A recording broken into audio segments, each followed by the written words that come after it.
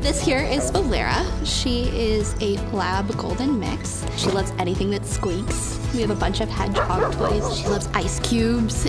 She will do anything for kibble.